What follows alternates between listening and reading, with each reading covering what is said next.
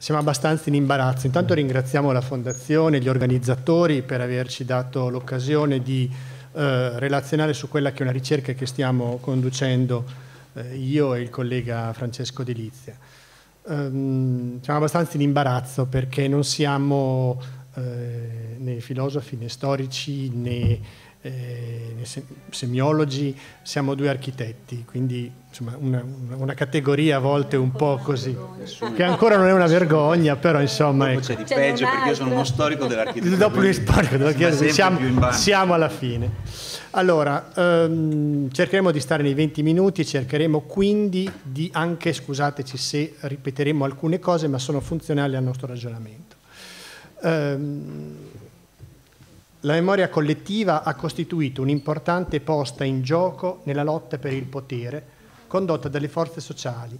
Impadronirsi della memoria e dell'oblio è una delle massime preoccupazioni delle classi, dei gruppi, degli individui che hanno dominato e dominano le società storiche. Ehm, a noi è piaciuto iniziare questa nostra breve chiacchierata proprio partendo da questa frase di Jacques Le Goff, anche perché eh, ci fa un po' capire il destino di questi luoghi. Eh, in questa immagine, in questa slide abbiamo riassunto velocemente cose che in questo auditorio tutti sanno. Quello che a noi interessava è ciò che è accaduto nel 1936, cioè che il Ministero della Guerra e dell'Interno stabiliscono i criteri per la costruzione dei campi di concentramento. Quindi vengono date indicazioni specifiche su come e, e quali sono i luoghi demandati a, a svolgere questa funzione. Sono luoghi diversi, diversissimi fra di loro, possono essere appunto, da, partiamo dai luoghi di confino, da isole, possono essere luoghi costruiti in, funzionalmente per ospitare persone scomode come quello di Pisticci, dove appunto vengono mandati i, i profughi, eh, deportati politici che vengono poi usati come manodopera. Eh, Ferramonti, anche la cui, la cui, storia credo ormai sia nota a, a tutti ma anche vengono riutilizzati edifici preesistenti, come appunto può essere ville, possono essere ville, caserme, in questo caso Villa La Silva, Bagnaripoli, oppure il campo di Fossoli che tutti noi conosciamo e che domani andrete a visitare, oppure campi di detenzione che utilizzano, riutilizzano strutture preesistenti. Ecco, a noi interessa fondamentalmente sottolineare una cosa in, in, prima istanza, e cioè che questi luoghi sono, e questi oggetti eh, vengono costruiti sempre con una funzione provvisoria, quindi con materiali poveri, con strutture povere. Noi siamo architetti, ci occupiamo di questo, quindi vogliamo capire perché tutta questa realtà eh, e come questa realtà è stata realizzata. E quindi cosa rimane di tutto questo? Allora, buonasera. Eh, cosa rimane di tutto questo? Rimangono cose ehm, particolarmente modificate loro, eh, anche nei loro assetti tipologici. Ehm, abbiamo luoghi che diventano dei memoriali come la casa dove trascorre il suo confino eh, in Basilicata Carlo Levi. Abbiamo scusa Andrea. Se... Ok, grazie. Abbiamo eh, luoghi eh, che, si, che, si, che si distruggono, che si svuotano e di cui resta in alcuni casi traccia eh, in una lapide, in un um, elemento commemorativo. Abbiamo luoghi come Fossoli che sono estremamente particolari perché ehm, pur perdendo la maggiore estensione che era quella del campo vecchio e buona parte delle strutture edilizie del Campo Nuovo, in realtà quello che resta del Campo Nuovo, anche in virtù di questo suo riscriversi, ma riscriversi sullo stesso sedime, ehm, sulla stessa tipologia, grosso modo, si può dire ben conservato e soprattutto grazie anche, brutto dirlo, però grazie anche alla lunga fase di abbandono, di rinaturalizzazione, comincia a diventare eh, un qualcosa che apre, ehm, apre a una serie di chiavi interpretative che poi vedremo tra un attimo diventano il, motivo, il motivo principale di quello che deve essere un progetto di valorizzazione.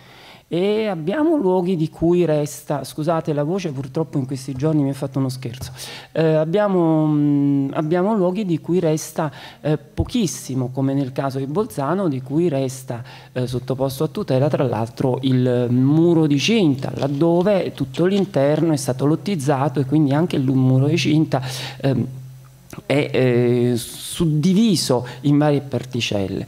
Abbiamo il caso che è stato presentato così bene dalla collega che credo di aver visto andare via poco fa della eh, risiera di San Samba che è un caso sottoposto al, mm, al progetto di rifunzionalizzazione, quindi una scelta di conservazione degli elementi che ne connotano l'immagine, eh, le parti più forti, le parti più vibranti e intense, però anche con grandi svuotamenti e ristrutturazioni all'interno funzionali a un percorso museale, quindi in questo caso il luogo, della, il luogo per la memoria che si costruisce nel luogo della memoria. E, ehm, è fondamentale quindi, questa mattina eh, il professor Schwarz diceva ha apprezzato la parola riconoscere, ma se noi andiamo a guardare eh, cosa scrive Cesare Brandi, eh, eh, Brandi, sulla definizione di restauro, beh, dice il restauro è il momento metodologico del riconoscimento di un'opera. Cioè nel momento stesso in cui si riconosce e quindi gli si dà un valore eh, anche a livello di conoscenza dell'opera stessa, allora scattano tutta quella serie di eh, attenzioni che portano alla sua difesa. Eh, esiste un progetto di ricerca che eh, tutto sommato da cui noi siamo partiti e che credo sia noto a tutti, no? questo progetto di ricerca di Herzog e Giuseppini del 2011 molto famoso, un sito web dove vengono individuati tutti i campi, le varie tipologie di campi, no? quindi località di confine, località di internamento, campi di lavoro. Uno clicca su una di queste immagini e gli appare il nome del campo e poi ancora e trova quelle che la sua funzione, chi, chi era ospitato, la sua localizzazione, vi sono documenti, vi è una bibliografia, però noi non sappiamo cosa resta di tutto questo. Questo per me, poiché mi occupo anche di castelli, era uno splendido castello, ma non sapevo che lì invece erano stati mm, ricoverati per un periodo, erano stati internati per un periodo eh, gli, del, deportati ebrei, cioè persone inglesi ed ebrei che poi sarebbero poi in parte eh, passati eh, in, altre, in altre situazioni. Quindi il primo punto per noi è capire la consistenza delle cose, capire cosa effettivamente è, rimesso, è rimasto di, di, tutto questo. Noi abbiamo come Stato una, eh, una legislazione tutto sommato anche abbastanza interessante, proprio legata proprio alla tutela. Eh, ve, ne, ve ne accenno brevemente io, mi scuso con chi conosce anche meglio di me probabilmente questi aspetti, ma credo che non tutti siate ehm, tecnici addetti ad avere a che fare con ehm, le norme che regolano l'attività del Ministero dei Beni Culturali. Perché abbiamo scritto lì su tutele difficili? Abbiamo scritto lì su tutele difficili perché in alcuni casi ehm, è particolarmente difficile, un po' per una questione di eh, valore intrinseco, di vetustà ehm, che manca o che è scarso, un po' perché si tratta spesso di materiali estremamente poveri. Ehm, qui c'è una... Ehm, eh, la dichiarazione di interesse culturale, però insomma l'hanno la, la, letta, vai avanti per favore. Eh, ho detto Vetustà una, un attimo fa, come funziona? Eh, noi possiamo sottoporre a tutela con decreto, quindi con decreto espresso, un bene che abbia, attualmente deve avere almeno 70 anni, fino al 2011 bastavano 50 anni. Perché questa data? Perché quella in cui, come abbiamo sentito già raccontare in questi giorni, proprio in relazione ai nostri ehm, oggetti di, di lavoro, ehm, tutto quello che il ricordo rischia di perdersi perché sono passate il giusto numero di generazioni e bisogna decidere se affidarne mh, le testimonianze alla memoria, alla storia o se lasciarle andare.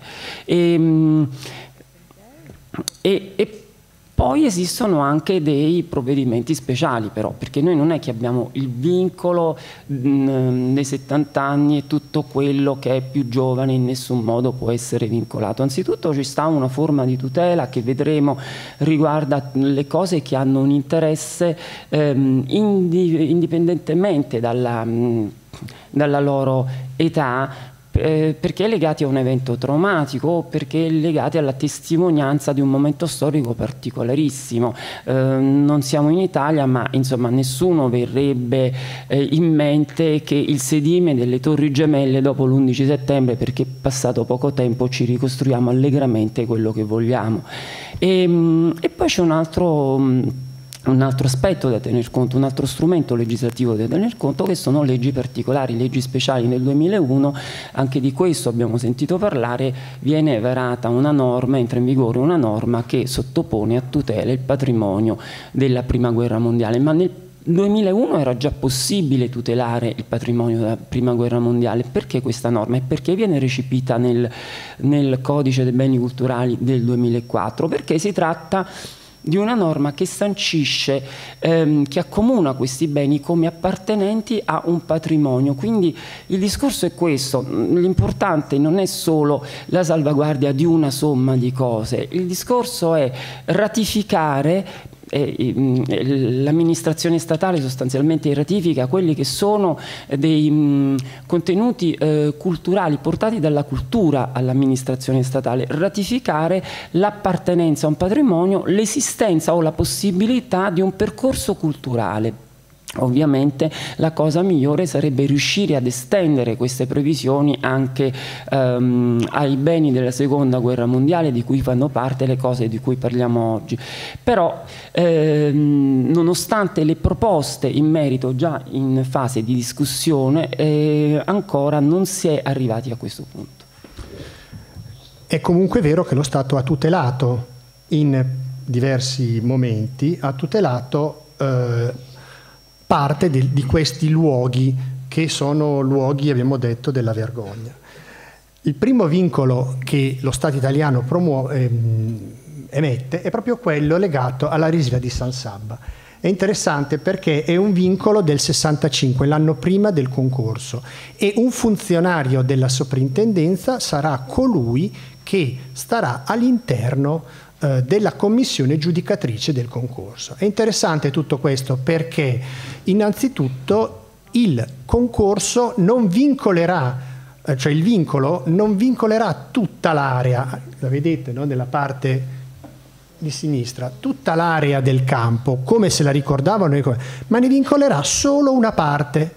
E già questo è una limitazione rispetto all'estensione materiale di tutto quello che ciò rappresentava ma soprattutto è interessante il modo con cui ci si approccia, si si avvicina a questa realtà, perché l'oggetto, l'oggetto stesso della risiera diventa strumento su cui i progettisti chiamati a realizzare un monumento alla resistenza, intanto diciamo che già una, c'è una prima selezione alla resistenza, incomincia appunto a lavorare per sottrazione, cioè per sottrazione della materia.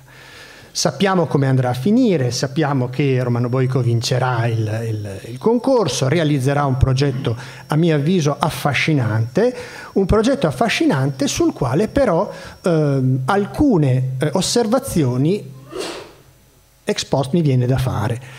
La prima è quella, la splendida sala delle croci, bellissima, affascinante.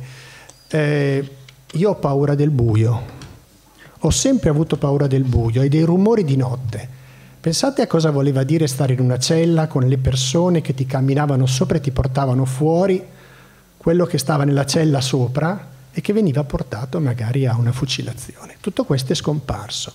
Quindi questa, questa selezione no, di, di, segni, eh, questa selezione di elementi tutto sommato toglie, ha tolto a questo capolavoro, perché è un capolavoro che va visto e contestualizzato nel periodo in cui appunto è avvenuto il, il, il concorso, ha tolto un elemento fondamentale, cioè quello della esperibilità, cioè di essere un oggetto che domani potrà essere visto, analizzato e studiato da occhi diversi. Un altro decreto, 1999, Ferramonti di Tarsia, è un decreto di vincolo interessante perché se guardate nell'immagine non c'è quasi più niente, si tutela quasi il nudo luogo. Ed è una cosa, un'intuizione a mio avviso interessante perché si tutela quello che in realtà è l'assenza. Il campo, l'ex campo di polizia di Bolzano, anche qui potremmo descriverlo ma taglieremo, è interessante questa immagine. Guardate cosa resta del campo. Resta una linea rossa, una sottile linea rossa, cioè resta un muro che comunque viene vincolato. Siamo nel 2003. L'ultimo decreto 2011, quello del Ministero sempre dei beni culturali che tutela l'ex campo di Fossoli. Per fortuna non solo il campo vecchio, ma anche non solo il campo nuovo, ma anche il campo vecchio, dove sarebbe anche interessante attivare e ne abbiamo già parlato in fondazione, queste, una serie di indagini di archeologia di superficie, di archeologia olocausto per verificare eventualmente eventuali tracce di un antico sedime che si è perduto, ma anche qui per fortuna il Ministero ha tutelato il, il nudo luogo. Però se si legge bene il campo, se si legge bene il decreto di vincolo, si tutela una fase del campo, mentre invece abbiamo sentito, cioè se lo leggete il vincolo dice si tutelano le scatole, ma non si tutela quello che c'è dentro. Ma quello che c'è dentro, noi abbiamo appena sentito, è uno strato, quello di Nomadelfia, un altro strato che ci fa onore, che è quello dell'accoglienza dei profughi giuliano-dalmati e quindi tutto sommato l'attività di tutela diventa complessa perché significa tutelare una stratificazione che cambia. Esiste quindi un'altra forma diversa di tutela. Allora, la definizione, la definizione di tutela ehm, fa ehm, riferimento ad alcuni aspetti che ci interessava sottolinearvi. Ehm, Naturalmente io non la leggo perché è scritta lì, però vi sottolineo che la base è un'adeguata attività conoscitiva, consiste nell'esercizio delle funzioni e nella disciplina delle attività dirette. Sulla base di un'adeguata attività conoscitiva, il resto lo vedremo dopo. Un'attività conoscitiva che già di fatto esiste e esiste svolta a più livelli. Ora, ehm, sappiamo bene, l'abbiamo sentito anche questo più volte, che esiste una grandissima eh, mole di documentazione su questi argomenti, su questi temi, su questi campi. Documentazione che purtroppo è molto dispersa, molto, perché è, è oggetto di lavori a livello locale prevalentemente, che richiede ehm, una connessione, uno sforzo progettuale di network. Altro aspetto, è che eh, l'obiettivo è garantire la protezione e la conservazione naturalmente di quel che resta, ma ehm, tutto, ciò, ehm, tutto ciò, come ho detto prima, viene ratificato quando c'è una spinta culturale verso questa cosa e non è oggetto soltanto dell'intervento dello Stato. Noi ci dimentichiamo infatti che esiste dal 2005 una Convenzione 4 sul valore del patrimonio culturale per la società, che è la, che è la Convenzione di Faro, che ha come obiettivo quello, il diritto, il diritto al, riconosce che il diritto all'eredità culturale è inerente al diritto a partecipare alla vita culturale riconoscere una, una, responsabilità individuale e collettiva nei confronti dell'età. Cioè, quindi non è solo lo Stato che si deve far carico, ma è il singolo cittadino che, tutto sommato, rompendo quasi anche una definizione no? che è abbastanza classica per chi insegna restauro, cioè i monumenti non sono nostri. No? I monumenti potremmo mettere quel non lo possiamo mettere tra parentesi e forse dire che i monumenti sì sono nostri perché abbiamo la responsabilità nei loro confronti e quindi fornisce una chiave di lettura interessantissima che dice riconosce il ruolo delle organizzazioni e di volontariato, quindi riconosce anche a realtà come quella, adesso qui sviolino, no, scusate non c'è la musichetta perché non hanno un, un jingle, però il ruolo di una fondazione come Fossoli, nell'ex campo di Fossoli, perché comunque non, pre- non prendono le, le associazioni di volontariato il posto dello Stato, ma concorrono a far sì che lo Stato eserciti meglio le sue attività di tutela. quindi concorrono a far sì che vi sia una maggiore consapevolezza nel cittadino di quello che è il suo patrimonio, ma anche di quelle che sono, facendo partecipare le persone a campi, come nel caso di, di campi di formazione ovviamente, nel caso di Fossoli, eh, di formazione tali per cui anche un ragazzo, un bambino riesca a capire che cosa gli è successo. Uno dei temi che emerge con forza da queste, da queste giornate di lavori è quello della responsabilità, la responsabilità che abbiamo tutti noi, ehm, che non possiamo far finta di nulla, non possiamo girare la faccia quando vediamo succedere cose che non riteniamo giuste è la stessa identica cosa. Abbiamo, non è vero che non sono nostri, sono nostri, però non sono nostri nel senso che non possiamo lasciarli deperire, abbiamo il dovere di trasmetterli al futuro, di renderli anche intellegibili, non si trasmette solo un pezzo di pietra, ci sono pezzi di pietra che parlano da soli, ma ci sono memorie fragili eh, che purtroppo non possiamo eh, lasciar lì così, dobbiamo riattivarle e mh, in questo è fondamentale il ruolo, eh, la compartecipazione eh, pubblico-privato ma anche con mh, gli enti locali, con le associazioni e con le fondazioni. Un caso virtuoso che abbiamo qui è proprio quello con la Fondazione Fossoli che inizia con eh, un lavoro, eh, con una mh, prima intesa con l'Università eh, di Bologna, eh, un lavoro approfonditissimo, devo dire, di ehm, messa a sistema della documentazione d'archivio e poi di indagine sul campo eh, con le eh, possibilità che offrivano i livelli di sicurezza di avvicinamento a questi edifici e quindi con tutta una serie di analisi che si traducono nello sviluppo di mh, rilievi tipologici delle varie... Ehm... vai, vai. Vorrei solo che voi notaste semplicemente che in questa immagine, e questa immagine come altre, vi sono veramente quando voi entrate dentro a quelle baracche, siete in un luogo, siete in un rudere contemporaneo perché i pavimenti, le, le, i muri esterni sono quelli realizzati in occasione dell'edificio, del, della, della, creazione del campo no, per la deportazione poi però dentro ci sono le controfodere che sono state fatte da Nuova Delfia e, e, e, dai, e, poi se guardate bene ci sono i tagli del muro contro l'umidità che li hanno fatti Giuliano Dalmati e poi vi accorgete che i contro, i controsoffitti e anche i controsoffitti li aveva messi Giuliano Dalmati e poi vi accorgete gli stencil e qua, ci sono strati su strati e poi c'è un terremoto che ti fa cascare un pezzo di intonaco e ti fa tornare indietro e ti fa vedere che sotto, sotto su quel muro c'è una scritta. Ma tu sei su un allora dici mamma mia sono tornato nella baracca ma poi guardi a terra e sei su un pavimento invece degli anni 50 e ti guardi fuori e vedi che il paesaggio è cambiato. Secondo me la bellezza di Fossoli è questa cioè questo di essere un luogo pluristratificato che racconta a mio avviso e qui vado a chiudere delle vergogne di uno Stato, ma anche della sua capacità di accoglienza, nel caso dei Giuliano Dalmati, eh, di accoglienza nei confronti di profughi. Grazie. Ah, io se no, vuoi dire un No, vabbè. Chiudo perché ci avete dato il tempo e noi siamo... Eh,